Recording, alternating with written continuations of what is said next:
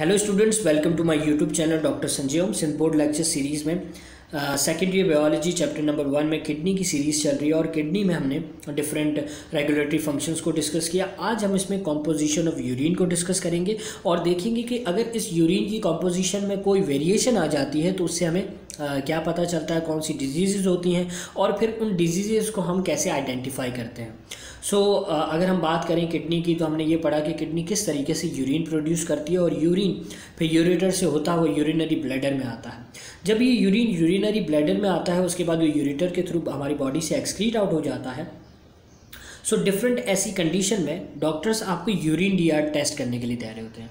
Urine D R एक test होता है ठीक है जिसमें यूरिन की कॉम्पोजिशन को देखा जाता है और वो कॉम्पोजिशन हमें ये बताती है कि क्या कोई किडनी में कोई प्रॉब्लम है? कोई फ़ंक्शंस ऐसे हैं जो किडनी सही से परफॉर्म नहीं कर रही, जिसकी वजह से हमारी बॉडी के अंदर भी जो रेगुलेटरी मैकेनिज़्म है किडनी का, वो इफ़ेक्ट कर रहा होगा हमारी बॉडी के दूसरे ऑर्गन्स के फ़ंक्शंस को, जिसकी वजह से हमारी बॉडी के अंदर कोई डिज़ीज़ या इस तरह की सिग्निफिकेंस हो रही होगी।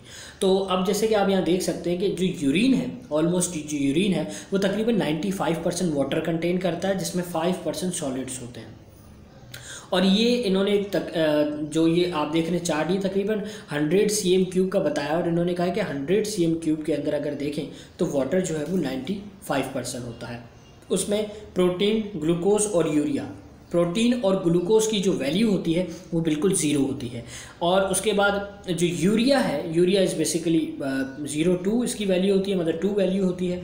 और कैरेटीन कैरेटिनिन बेसिकली एक बहुत ही इंपॉर्टेंट फैक्टर होता है। अगर हम किडनी को देखें, ये हमें किडनी के फ़ंक्शन को आइडेंटिफाई करके दे रहा होता है, और इसकी वैल्यू होती है ज़ीरो पॉइंट थ्री से ज़ीरो पॉइंट सेवन ज़ीरो अगर ये वैल्यू कम आ जाती है कैरेटिनिन की तो इसका मतलब ये है कि हमारी किडनी का जो जी एफ़ आर है that is glamorous filtration rate वो बहुत कम है। और अगर ये ज़्यादा है तो मतलब किडनी जो है बहुत ज़्यादा वर्क कर रही है। तो मतलब ये है कि जो कैरेटिनिन से हमें उसकी वर्किंग का पता चल रहा होता है। इसके साथ साथ अमोनिया जो हमें मालूम है कि नाइट्रोजनस वेस्ट होता है, इसकी वैल्यू भी सेम होती है। उसके बाद जो ये आपके पास नेक्स्ट है that is uric acid uric acid समझ लें कि यूरिक, यूरेट्स होते हैं ये बेसिकली और जब ये आपकी बॉडी से एक्सक्रीट आउट नहीं होते तो ये आपकी बॉन्स के अंदर डिफरेंट जॉइंट्स में ये डिपॉजिट होना शुरू हो जाते हैं। और उसके बाद अगर हम नॉर्मली अगर हम एजिड वुमेंस की बात करें, या एजिड मेंस की बात करें तो वुमेंस के अंदर ये ज़्यादा होता है कि यूरिक एसिड जो है, वो बॉडी से एक्सक्रीट आउट नहीं हो पा रहा होता। जब ये बॉडी से एक्सक्रीट आउट नहीं होता तो फिर ये हमारी बॉडी के डिफरेंट जॉइंट्स के अंदर जाकर डिपॉजिट होना शुरू हो जाता है। और जब ये डिपॉजिट होता है तो फिर ये क्या करता है कि हमारी जो मूवमेंट है, उस पार्ट की उसको ये बहुत ही ज़्यादा इफ़ेक्ट करता है। और उसके बाद क्या होता है कि उनको जैसे घुटनों में घुटनों में जमा हो जाता है तो फिर मूवमेंट में बहुत ज़्यादा मुश्किल होती है और इसी के साथ ये बहुत ही पेनफुल भी होता है। तो यूरिक एसिड उस टाइम जो है वो देखा जाता है। इसके साथ साथ सोडियम की जो क्वान्टिटी है, वो आप देख सकते हैं zero point three zero chloride इतने और बाकी जितने भी मिनरल्स हैं, वो ज़ीरो पॉइंट फोर फाइव और पी एच क्या होता है यूरिन का?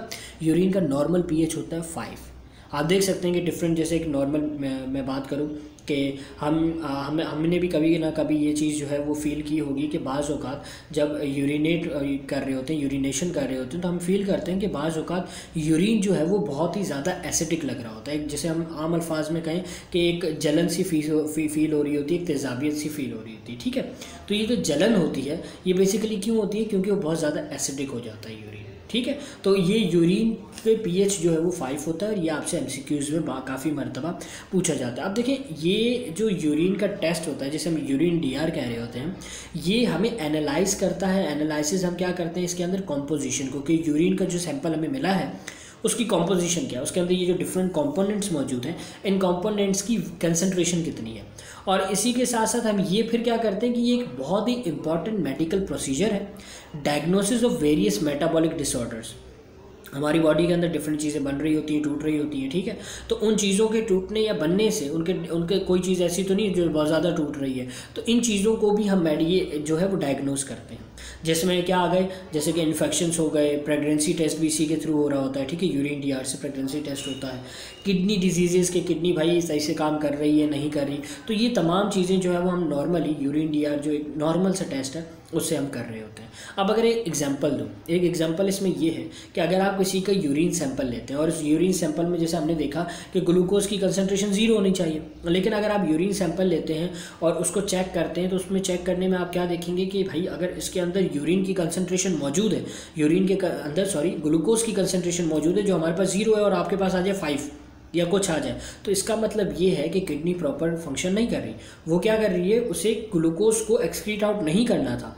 लेकिन वो ग्लूकोज को एक्सक्रीट आउट करिए तो ग्लूकोज फिर क्या है कि किडनी से होता हुआ आपकी यूरिन और यूरिन में वो ग्लूकोज आ जाता है। तो इससे हम ये आइडेंटिफाई करते हैं कि जिस भी शख्स के यूरिन के अंदर हमें ग्लूकोज की कंसनट्रेशन मिलती है। हम कहते हैं वो वो शख्स क्या है, उसको कौन से सिम्टम्स हैं, उसको वो ग्लूकोज या उसे हम आम अल्फाज में कहते हैं कि शुगर या डायबिटिक पेशेंट। तो इस तरीके से हम डायबिटीज़ को जो है वो डायग्नोज कर रहे होते हैं, लेकिन ये प्रॉपर मेथड नहीं है डायबिटीज़ को डायग्नोज करने का। इसमें डिफरेंट दूसरे मेथड्स भी हैं जो जो डायग्नोज करते हैं। लेकिन ये एक तरीका है, सिंपल सा कि आप इससे भी डायग्नोज करते हैं यूरिन डीआर से, कि इस शख्स को डायबिटीज़ है कि नहीं है? तो ये तो एक सिंपल सी एग्जांपल दी थी।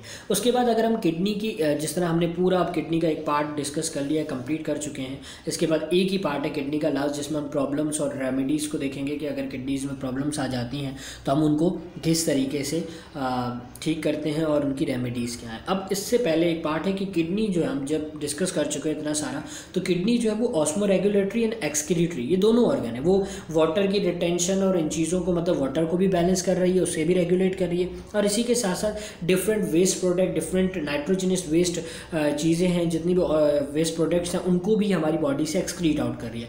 तो किडनी जो है वो osmoregulatory and excretory functions दोनों परफॉर्म कर रही है। ठीक है? दोनों परफॉर्म कर रही है और इसी के साथ अगर हमने जैसे ऑस्मो रेगुलेटरी में पीछे पढ़ा था, लेकिन मैं फिर से बता रहा हूँ कि ऑस्मो रेगुलेटरी में हमने क्या पढ़ा था कि एक हार्मोन होता है जिसका नाम होता है एंटी डायरेटिक हार्मोन ये रिलीज़ होता है पोस्टीरियर पिच्यूटरी ग्लैंड से। In the condition of dehydration dehydration condition में जब ये रिलीज़ होता है तो क्या होता है कि किडनी में जाकर आपके पास वर्क करता है और वर्क क्या करता है कि वाटर की रीएब्जॉर्प्शन करता है। जब ये वाटर की रीएब्जॉर्प्शन करता है तो क्या होता है कि वाटर ज़्यादा अमाउंट में हमारी बॉडी से एक्सक्रीट आउट नहीं होता। इसी के साथ साथ किडनी जो है वो एक्सक्रीटिव फ़ंक्शन भी डिस्क जो है वो प्ले करती है, जिसको हम पीछे डिस्कस कर चुके हैं वो किस तरीके से नेफ्रॉन के अंदर, वो किस तरीके से एक्सक्रीटरी जो भी इसका प्रोसेस है उसे वो रेगुलेट कर रही है। तो आई होप कि आपको कंपोजिशन ऑफ़ यूरिन और इसके साथ साथ डायग्नोसिस एंड इसकी सिग्निफिकेंस और वेरिएंस आपको क्लियर हो गई होगी और आपको कोई इन्फॉर्मेशन भी ज़रूर मिली होगी। अगर आपको कोई भी क्यूरी हो तो आप मेरे व्हाट्सअप नंबर पर और मेरे यूट्यूब के कमेंट बॉक्स में पीछे पूछ सकते हो। इसी के साथ साथ अपना फीडबैक ज़रूर दीजिएगा। वीडियो को लाइक कीजिएगा, अपने फ्रेंड्स के साथ ज़रूर शेयर कीजिएगा और सब्सक्राइब ना किया हो तो सब्सक्राइब कीजिएगा और मुझे अपनी दुआ में याद रखिएगा। Thank you